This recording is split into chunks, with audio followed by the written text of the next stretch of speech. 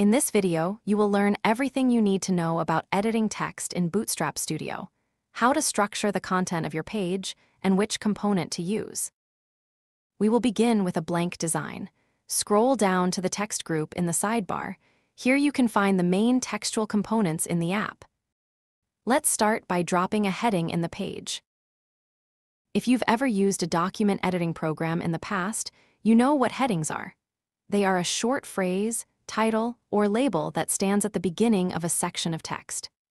In HTML, we have six different heading sizes, from H1, which is the largest, to H6, the smallest. In the editor panel, you can see how the HTML code changes when we change the tag. You can also switch the tag from the options. A good practice when writing is to aim for a hierarchy of heading tags. The article title should be inside an H1 tag, Section titles should be H2, subsections H3, and so on. There should be only one H1 on your page, and you shouldn't skip levels.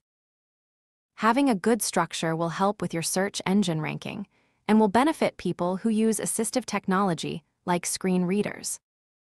If you need even larger headings, you can use the display option. These only set a class name on the element, they don't change the tag. This can be useful when you are designing large banners or website intros. Next is the Text Options group.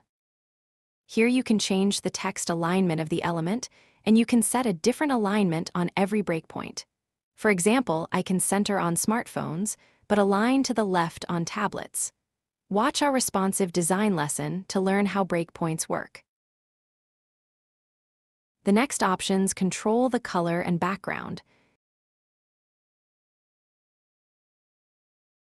You can also make the text uppercase, change the font size and weight.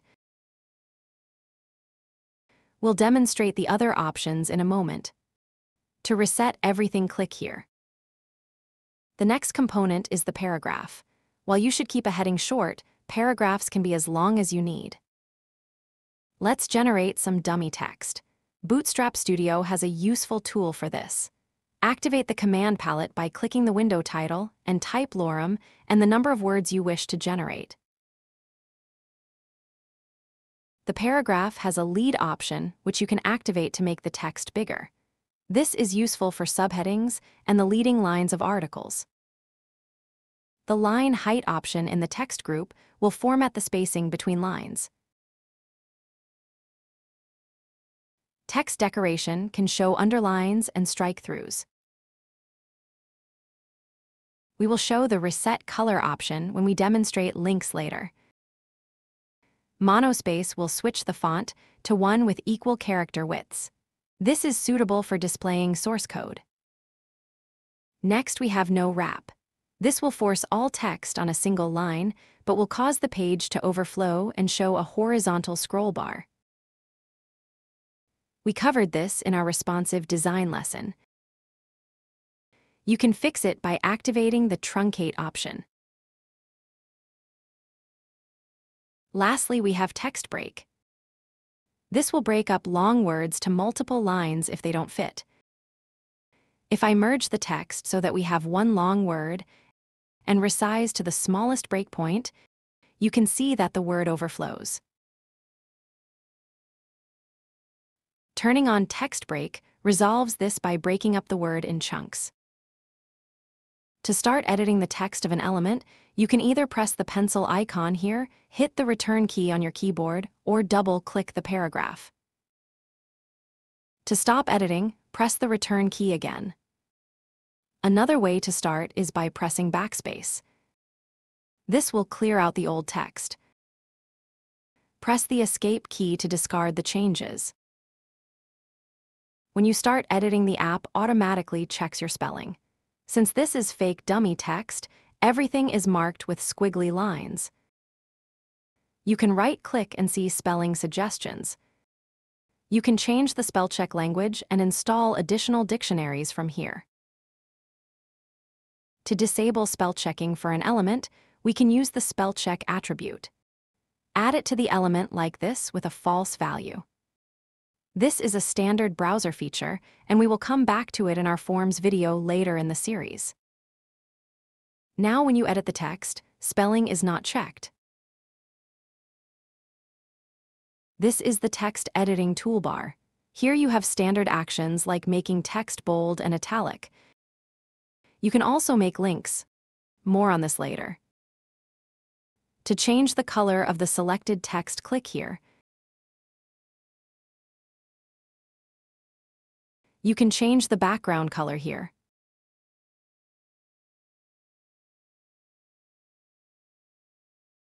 To clear the formatting, select the text and click here.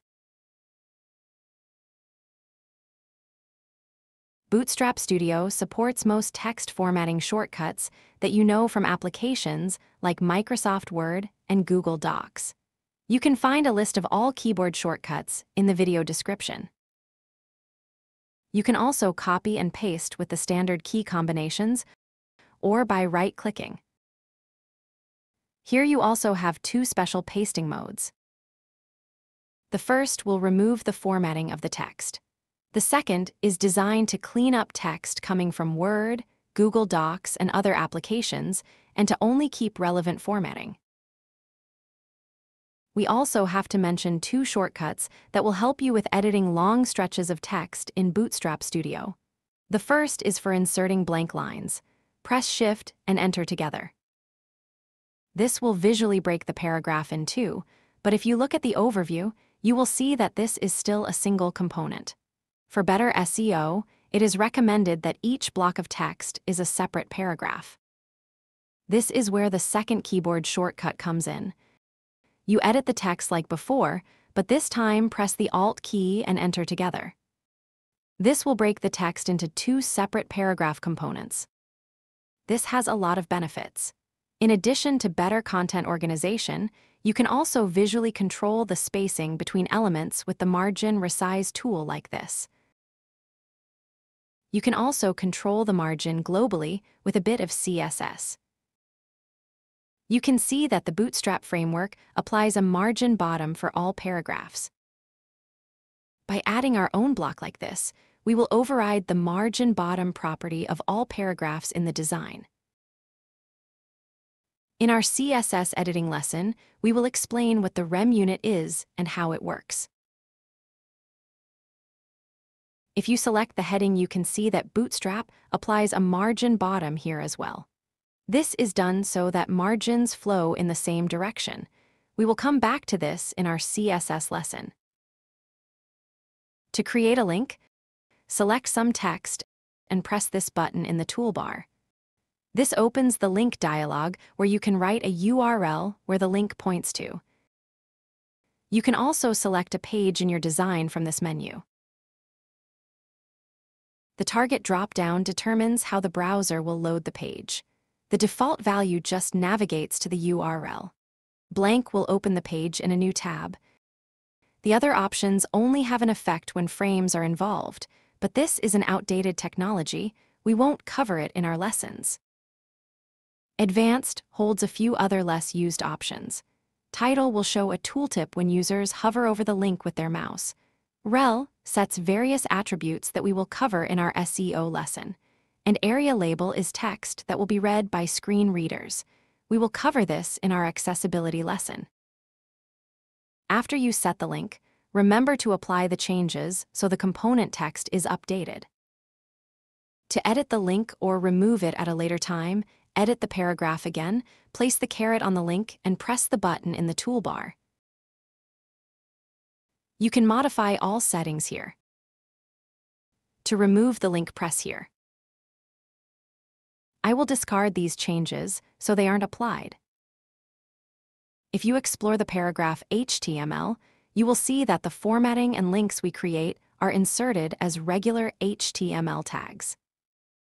If you select one of the elements, you will notice that we can't add attributes for it, and there is no corresponding component. It still shows the paragraph as selected. This is because formatting and links created with the text editing UI are properties of the text. They don't exist as real components. You can see the difference if we drop a link component. At first glance, they look the same, but there are notable differences. You can add attributes to the second link. it is also displayed in the overview. And since it's a regular component, you can drag it and place it anywhere on the page. The other difference is how text is edited. If I start editing the paragraph, I can freely change the first link. It behaves like regular text, I can even cut pieces and paste them elsewhere. But because the second link is a real component, we can't edit it through the paragraph like this. The cursor goes around it. We need to edit it by itself like this.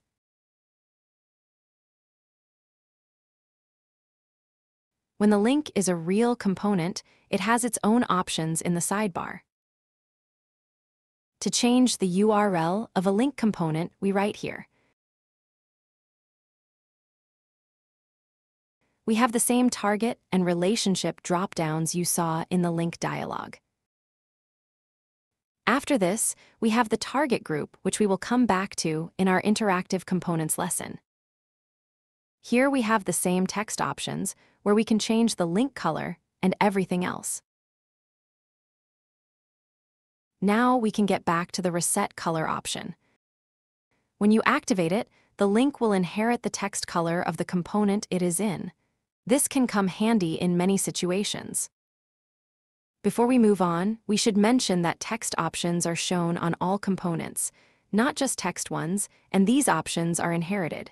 So for example, we can select a parent element, like the body, and change the alignment and color. This will apply to all child elements at once. We can now move on to the other components in the text group. We have bold, italic, superscript, and subscript.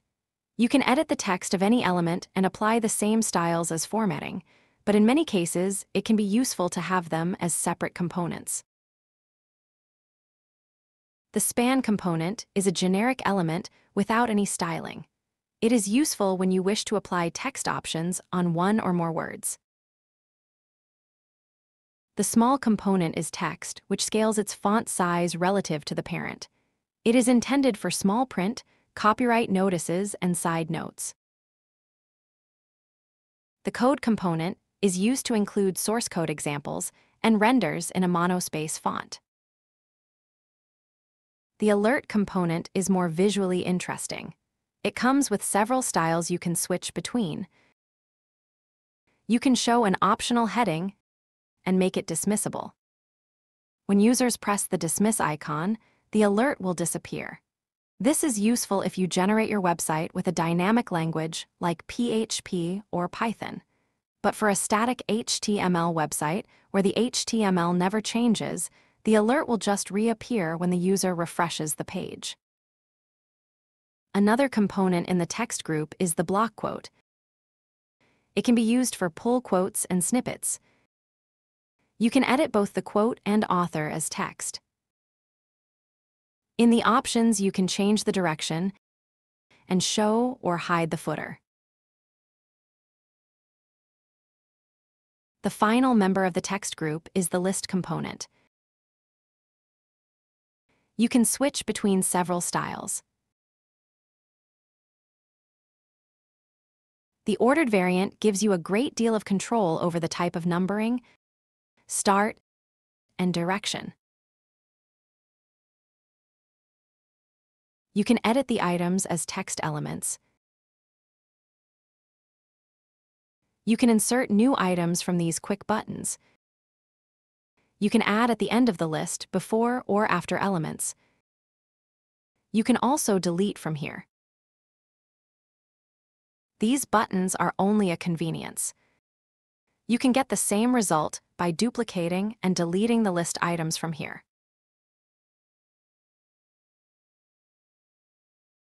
To create multi-level lists, you can drop another list in one of the items. With the Margin and Padding Resize tool, you can shrink the extra space like this. When you are constructing a design, you often need to mix graphics with text. As an example, let's drop an icon in one of the paragraphs. If I make it bigger, you can see that it pushes the entire line of text with it, leaving a lot of empty space. To resolve this, we can use the float option. This will push the icon to the side and the text will flow around it. We can then use the margin tool to leave some blank space around it. This way, you can embed small images and figures inside articles. I will mention two more text formatting tips, which require a bit of CSS. The first tip is styling your text to look like the page of a book. You can do this by setting the bottom margin to zero, setting text justify, and using text indent to demarcate paragraphs. The second tip is organizing text in columns. To do this, we will use the columns property. This will automatically split the text in two columns, but this causes a problem on small screens as space is limited. Luckily, the columns property has built-in responsive behavior. We can add a second parameter with the minimum column width. This tells the browser to split the text in columns only if they are at least 300 pixels wide. The final topic we will cover in this video is changing the font of your design. Using a good font can bring your website to the next level, and Bootstrap Studio makes this easy.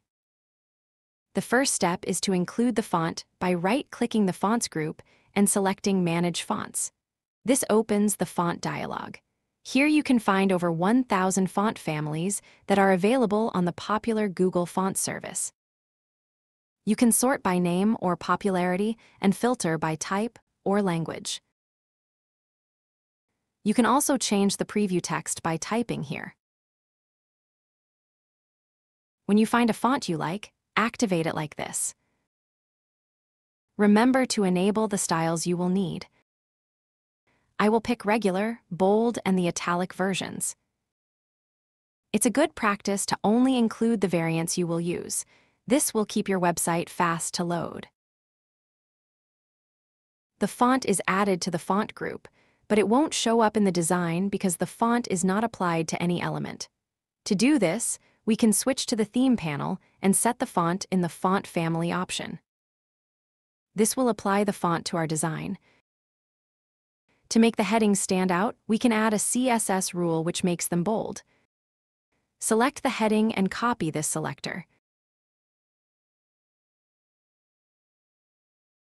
create a new block. Then set font weight to bold. This will affect all headings in the design. In some designs, you may need to have a different font for the headings from the rest of the body. Let's see how this works. Open the font dialog again. I will pick another font and activate it. This one has only a single style, so we don't need to activate the bold variant. It's imported, but we need to apply it. I'll add a font family rule to the CSS block we made earlier and assign the new font. This applies the font, but our bold declaration makes it much thicker than intended. Disable it like this. One last tip before we conclude this lesson is that you can print as PDF directly from Bootstrap Studio. Just press Print in the File menu and follow the steps. This way you can use the app as a simple word processor, or have a page in your design that you use as a branded template for documents or invoices.